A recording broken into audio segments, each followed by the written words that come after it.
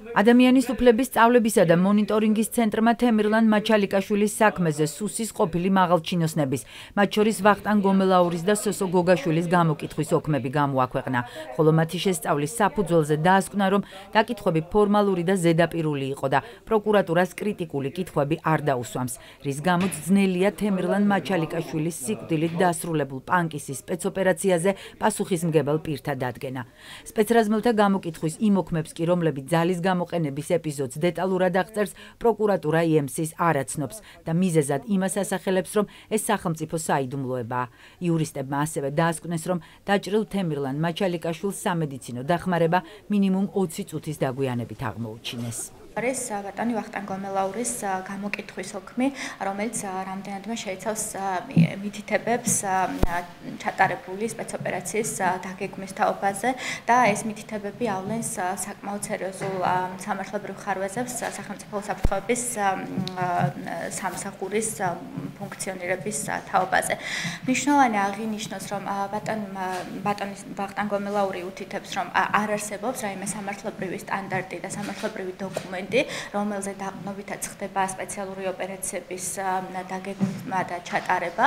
შეფასების დროს ეს არის თავად პროკურატურის კითხვების ზედაპირულობა და ფორმალურობა, რეალურად არსებითი სახასიათის კითხვები, რომელიც მომხდარის აღდგენას, ძალის გამოყენების აუცილებლობას ან სპეცოპერაციის დაგეგმვის დროს უფლებრივი სტანდარტებით სუსის მოქმედების შემოწმებას უკავშირდება. პრინციპში ამგვარი ტიპის კითხვები არ იყო დასმული. რეალურად სახელმწიფო საფრთხების სამსახურმა სპეცოპერაცია დაგვეგმა იმ დაგვარად, რომ მან რეალურად არ გაზომა და არ შეაფასა რისკები. დაკითხვის ოქმის მიხედვით ვახტანგ გომელაურმა სპეციალური ოპერატიული დეპარტამენტის უფროს ზეპირი დავალება მისცა, რომ პანკიში სპეცოპერაცია დასაკავებელ პირთა დაჭრის ან ლიკვიდაციის გარეშე უნდა ჩატარებულიყო.